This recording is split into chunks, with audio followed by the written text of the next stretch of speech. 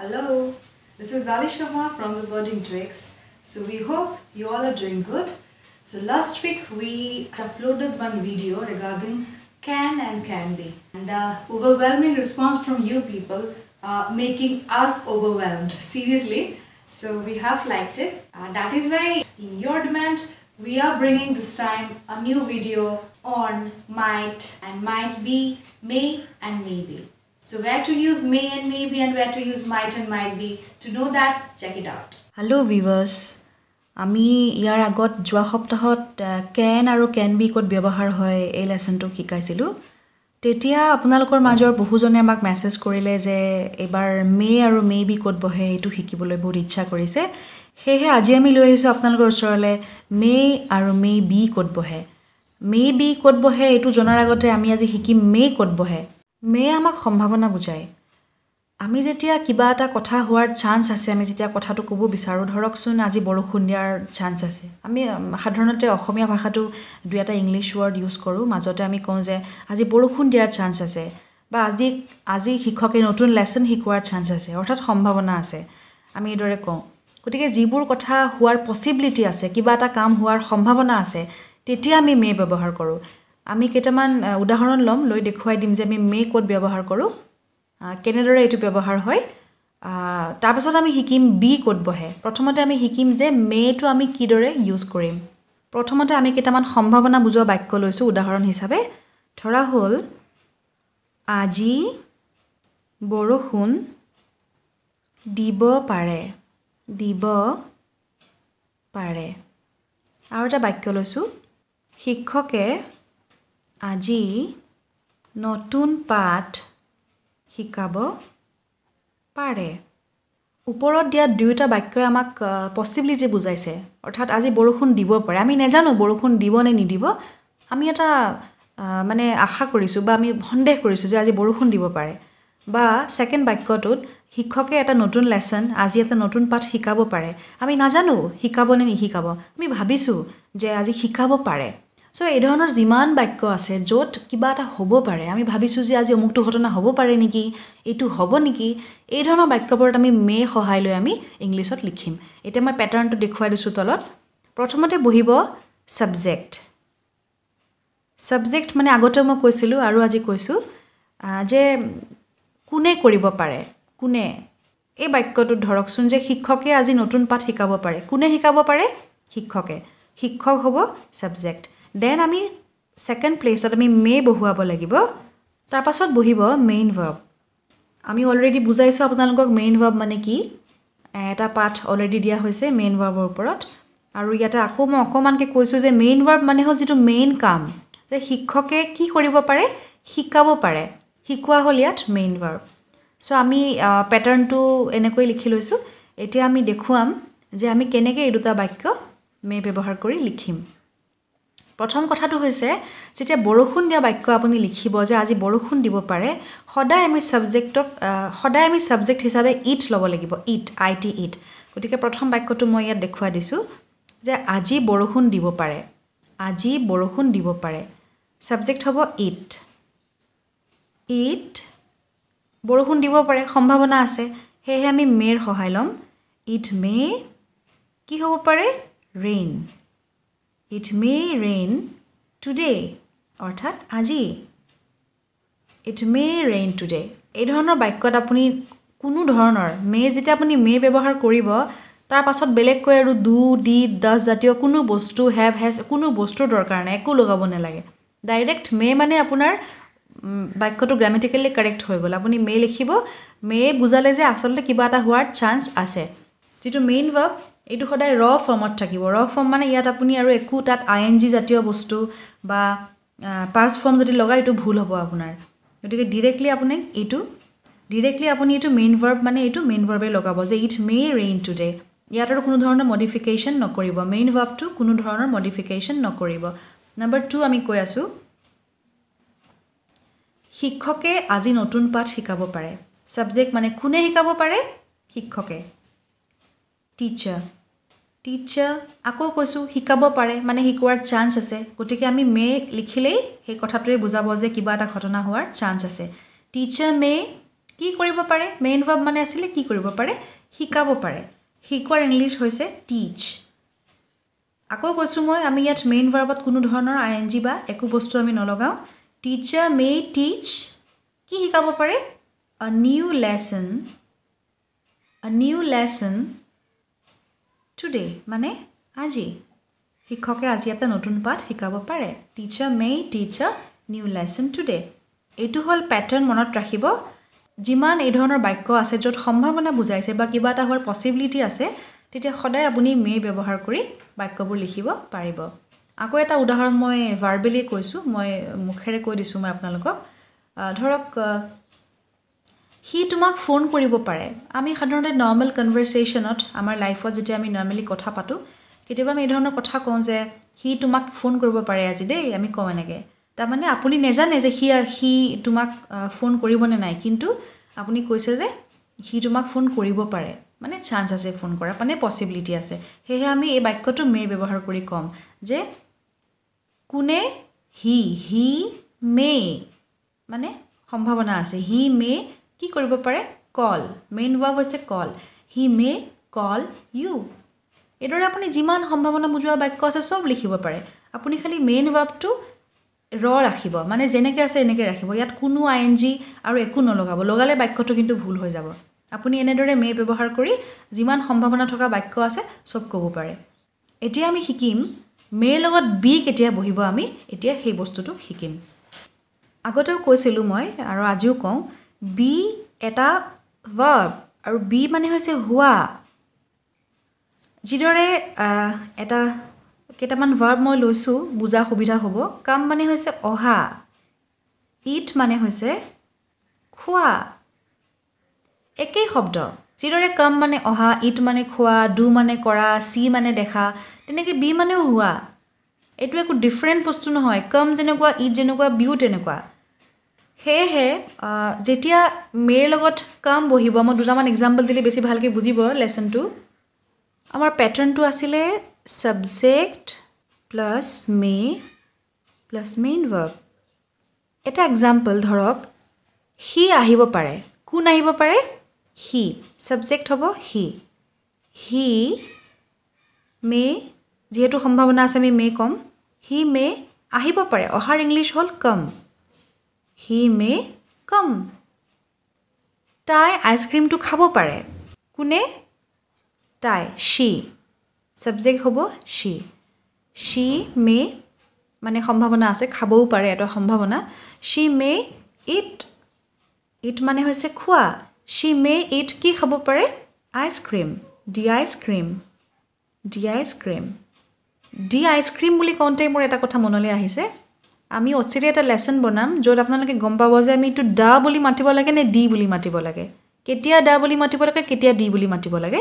বহুত মানুহৰ কনফিউজন আছে এইটো কথাক লৈ কিন্তু আমি আজি এইটো ডি আইচক্ৰীম বুলিয়ে পঢ়িম। ডি আইচক্ৰীম মই ক'ম অতি সোনকালে ক'ত আমি দা ক'ম ক'ত আমি ডি ক'ম। যি নহওক আমি পঢ়ি আছোঁ কিন্তু মেৰ কথা। চ' হি মে কম মানে সি আহিব পাৰে বা তেওঁ আহিব পাৰে। শ্বি মে ইট তাই খাবও পাৰে মানে তাই খাব পাৰে। কি খাব পাৰে? ডি আইচক্ৰীম ঠিক তেনেকৈ আমি যদি ইয়াত বি লগাই দিওঁ এটা বাক্যত যেনেকৈ ডে মে বি লেট তাৰমানে ডে মানে হৈছে সিহঁত। মে মানে আকৌ গম পাইছে অলৰেডি আপোনালোকে। মে মানে হ'ল মানে কিবা এটা কথা হোৱাৰ পচিবিলিটি আছে সম্ভাৱনা আছে। বি মানে হ'ল হোৱা। ডে মে বি মানে সিহঁতে হ'ব বি মানে হোৱা হ'ব পাৰে কি হ'ব পাৰে? লেট দেৰি হ'ব পাৰে। মানে সিহঁতৰ দেৰি হ'ব পাৰে। They may be late they may be যদি আমি লেটৰ ঠাইত ইয়ৰ ফ্ৰেণ্ডছ বুলি কওঁ they may be your friends তাৰমানে সিহঁত। বি মানে হোৱা হ'ব পাৰে। কি হ'ব পাৰে? ইয়ৰ ফ্ৰেণ্ডছ তোমাৰ বন্ধুও হ'ব পাৰে। সিহঁত তোমাৰ বন্ধু হ'ব পাৰে। They may be your friends be মানে হ'ল হোৱা। আৰু সেই হোৱা বুলি কওঁতে আমি অকল আমি যদি হি মে কাম বুলি লিখোঁ সি আহিব পাৰে। বাক্যটো কমপ্লিট পিছফালে একো নিলিখিলেও হ'ব। কিন্তু আমি যদি ডে মে বি বুলি কওঁ সিহঁত হ'ব পাৰে তেতিয়া কিন্তু বাক্যটো আমাৰ কমপ্লিট নহ'ব। আমি লিখিব লাগিব তাহাঁতি কি হ'ব পাৰে? পিছফালে আমি বস্তুটো লিখি দিব লাগিব। অকল বি লিখিলে ইনকমপ্লিট হৈ থাকিব। অকল ডে বুলি নহয় যিকোনো কথাই আপুনি ক'ব পাৰে। She she may be his mother she মানে তেওঁ। তেওঁ বা তাই। শ্বি মে বি মানে তাই হ'ব পাৰে। কি হ'ব পাৰে? হিজ মাদাৰ তাৰ মাক। কেতিয়াবা যে আমি কওঁ সেইজনী তাৰ মাক হ'ব পাৰে দেই। আমি যে কওঁ কেতিয়াবা এনেকৈ তাৰ মাক হ'ব পাৰে সেইজনী। তাৰমানে হ'ব পাৰে। হোৱাটো হ'ল মেইন ভাৱ she may be his mother এনেকৈ আমি গম পালোঁ যে আমি মে ক'ত লিখিম আৰু মে বি ক'ত লিখিম। আচলতে বি আৰু মেৰ তেনেকুৱা একো ডিফাৰেঞ্চ নাই। যেনেকৈ মেৰ লগত কাম হৈছে যেনেকৈ মেৰ লগত ইট হৈছে সেই একেই কথা। মেৰ লগত বি হৈছে। কাম মানে যি কাম মানে অহা মে মানে ইট মানে খোৱা তেনেকৈ বি মানে হোৱা একো ডিফাৰেঞ্চ নাই। খালি আমি বহুতৰ অকণমান কনফিউজন থাকে যে আমি মে বি বুলি কওঁ মে বি মানেও হ'ব পাৰে। কওঁ কেতিয়াবা আমি এনেকৈ যেনেকৈ নেকি কেতিয়াবা কিবা কথা সুধিলে কোনোবাই যে এই ঘটনাটো এনেকুৱা হ'ব পাৰে নেকি? আমি কওঁ মে বি হ'ব পাৰে। ঠিকেই ভুল নহয় এইটো ঠিকেই কথা কৈছে আপুনি। মে বি মানে বি মানে হ'ল হোৱা। হ'ব পাৰে মানে চান্স আছে পচিবিলিটি আছে। সেয়েহে আমি কওঁ মে বি। চ' আশা কৰোঁ আজিৰ পৰা মে ক'ত বহে আৰু মে বি ক'ত বহে একো কনফিউজন নাথাকিব। এতিয়া আমি শিকিম ইয়াৰ নেগেটিভ ফৰ্মটো আমি কেনেকৈ লিখিম। নেগেটিভ ফৰ্মটো হ'ব মে লগত নট লগালে নেগেটিভ বুজাব। ধৰক আজি তাই ক্লাছলৈ নাহিবও পাৰে নাহিবও পাৰে। এইটো হ'ল এটা পচিবিলিটি নাহিবও পাৰে। গতিকে আমি মেইন মেৰ লগত নট লগাই দিলে এই বাক্যটো আমি লিখিব পাৰিম। কোনে? তাই। মন কৰিব এই বাক্যটো আৰম্ভ হৈছে আজিৰে। কিন্তু আমি ইংলিছটো যেতিয়া লিখিম লিখোঁতে প্ৰথমতে আমি ছাবজেক্টটো লিখিম। কোন নাহিব পাৰে? তাই। শ্বি আমি মে লগালোঁ। যিহেতু নাহিবও পাৰে সেইকাৰণে আমি ইয়াতে নট লগালোঁ। শ্বি মে নট ইয়াৰ পাছত কিন্তু আমি মেইন ভাৰ্বটো লিখিব লাগিব। মেইন ভাৰ্ব হৈছে আমি অহা কথা পাতিছোঁ ইয়াত। কাম আৰু ইয়াত নট দিয়াৰ কাৰণে অহাটো নাহা হৈ গৈছে। অৰ্থাৎ ইয়াত বেলেগকৈ আমি নাহিবৰ কাৰণে ইংলিছ লিখিব নালাগে আৰু। কাম মানে হৈছে অহা। ইয়াত নট লগাওঁতে এইটো নাহিব বুজাইছে already she may not come to the class to the class today মানে তাই আজি ক্লাছলৈ নাহিবও পাৰে। আৰু এটা এক্সাম্পল আমি লিখিম। সি জেউতীৰ বন্ধু নহ'বও পাৰে। এই বাক্যটো ভালদৰে মন কৰিব।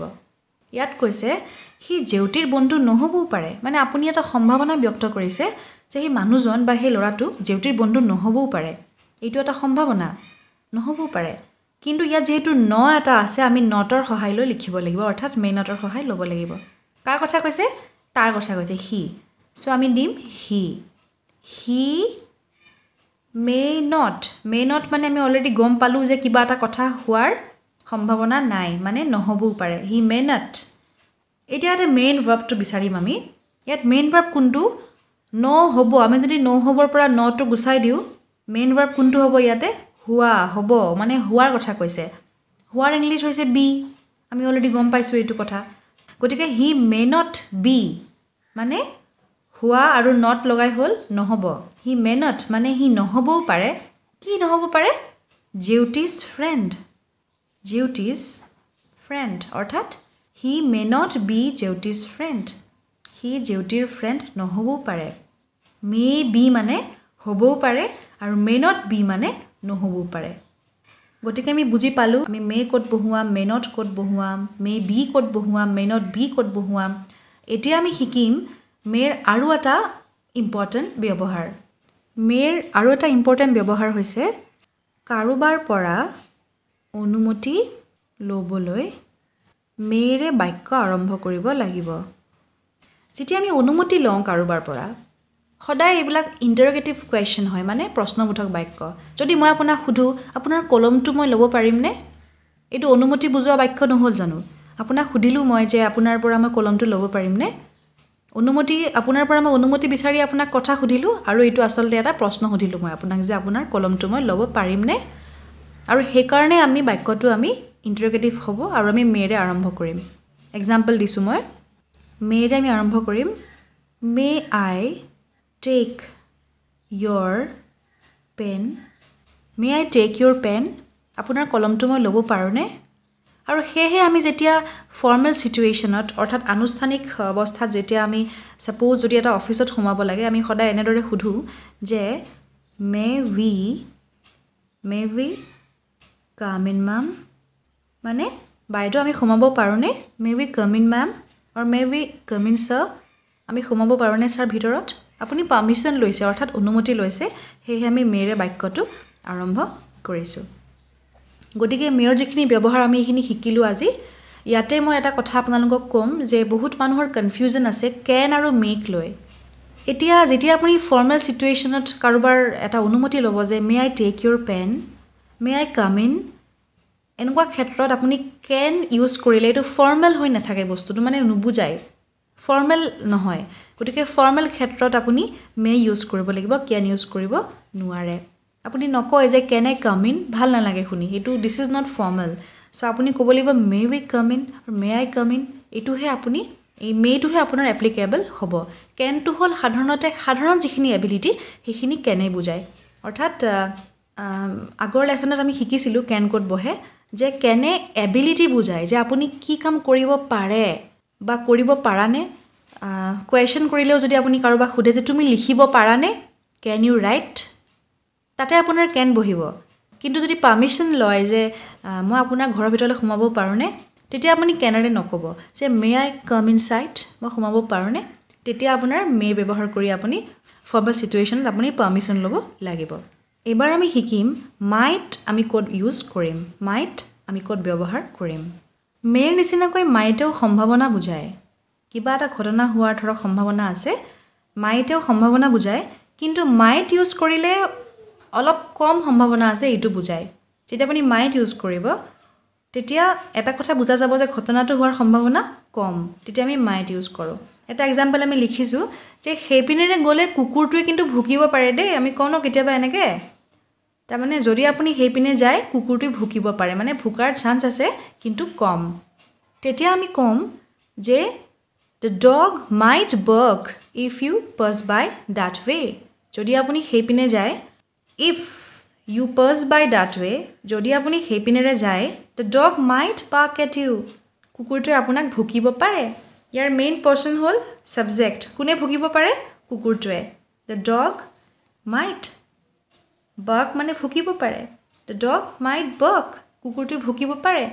বাকী এই বস্তুবোৰ আমি কেনেকৈ লিখোঁ we will teach you step by step আমি শিকাই গৈ থাকিম কেনেকৈ হাউ টু ফৰ্ম চেণ্টেঞ্চেছ কেনেকৈ চেণ্টেঞ্চ বনায় কেনেকৈ লিখে কেনেকৈ কয়। We are working on it আমি অতি সোনকালেই শিকাম এইবোৰ বস্তু যে কেনেকৈ আমি এইবোৰ আমি লিখিম বা ক'ম। সদ্যহতে আপুনি মাইটৰ ইউজটো শিকি লওক যে সেইপিনেৰে গ'লে কুকুৰটোৱে ভুকিব পাৰে চান্স কম আছে কিন্তু ভুকিব পাৰে।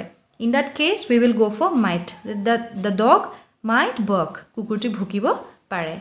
মাইটৰ আৰু এটা ইউজেছ হৈছে যদি আপুনি বহু বিনম্ৰতাৰে কাৰোবাক কিবা এটা দিহা পৰামৰ্শ দিয়ে ধৰক আপুনি এখন এটা কাপোৰৰ এখন কাপোৰৰ দোকানত আপুনি ধৰক কাম কৰি আছে এগৰাকী লেডি আহিছে আপুনি কৈছে যে মেম আপুনি ড্ৰেছটো এবাৰ ট্ৰাই কৰি চাব পাৰে। আপুনি এই কথাটো বহুত বিনম্ৰতাৰে নক'ব জানো তেখেতক? কেনেকৈ ক'ব যে আপুনি এবাৰ এই ড্ৰেছটো বা এই ব্লেক ড্ৰেছটো এবাৰ আপুনি ট্ৰাই কৰি চাব পাৰে? এইটো এটা আপোনাৰ দিহা পৰামৰ্শই হ'ল তেখেতৰ প্ৰতি আপোনাৰ ফালৰ পৰা আৰু কথাখিনি আপুনি ক'ব লাগিব অত্যন্ত বিনম্ৰতাৰে। কেনেকৈ ক'ব? আপুনি এবাৰ এই ব্লেক ড্ৰেছটো ট্ৰাই কৰি চাব পাৰে। You might like to try this black dress কোনে চাব পাৰে? আপুনি। You you might like to try মানে আপুনি ভাল পাব পাৰে চেষ্টা কৰিবলৈ এপাক।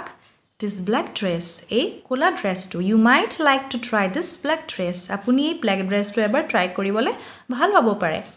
এইটো হ'ল this is one kind of suggestion আপুনি সেইকাৰণে ছাজেশ্যন কৰিছে।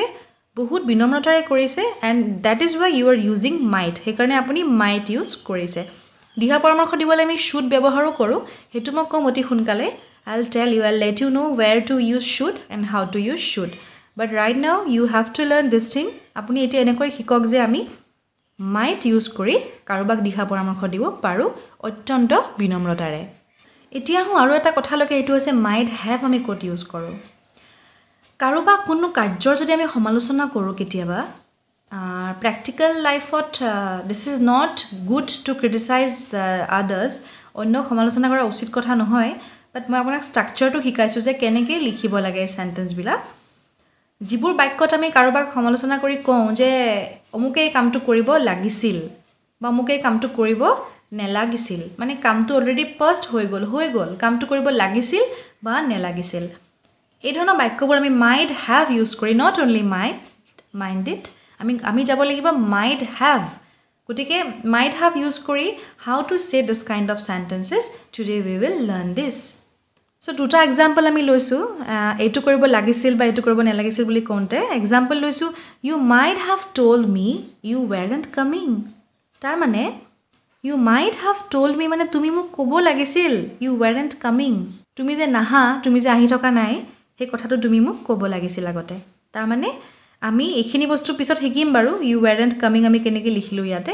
But right now you should learn this আপুনি এতিয়া এইটোৱে শিকক যে you might have told me মানে তুমি মোক ক'ব লাগিছিল। কোনে ক'ব লাগিছিল? তুমি ইউ তাৰপিছত আহিল আমাৰ might have you might have এই ট'ল্ডটো হ'ল কোৱা। মানে টেলৰ মই আপোনাক কৈ আছোঁ এখন চাৰ্ট দিছিলোঁ মই in the last week when we uploaded one video' সেই ভিডিঅ'ত আমি লিখিছিলোঁ বা দেখুৱাইছিলোঁ যে what is the purse participle মানে থাৰ্ড কলাম যিটো আছিলে এখন চাৰ্ট দিছিলোঁ আমি। সেই চাৰ্টৰ যিটো সেই চাৰ্টখনৰ যিটো থাৰ্ড কলাম সেইটো আমাক ইয়াতেও লাগিব। সেইটো হৈছে পাৰ্চ পাৰ্টিচিপল টেল মানে হৈছে কোৱা। Tell told told so' we have to go' for the third one date is the told third যিটো কলম আছে আমাক এইটো আমাক লাগিব। You might have told me মানে তুমি মোক টেল নহ'ব কিন্তু ইয়াত মন কৰিব দেই আমি ইয়াত টেল নকওঁ কিন্তু। যদিও আমি ক'ব লাগিছিল বুলি কৈছোঁ আমি we have to go' for the third form so' you might have told me তুমি মোক ক'ব লাগিছিল ইউ ৱাৰ এণ্ড কামিং তুমি যে নাহা তুমি মোক ক'ব লাগিছিল। ইয়াত মাইড হেভ দিলে কথাখিনি অলৰেডি বুজাব।